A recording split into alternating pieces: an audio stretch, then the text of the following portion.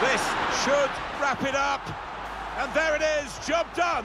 Yeah, that's put the lid on it. Good night, God bless.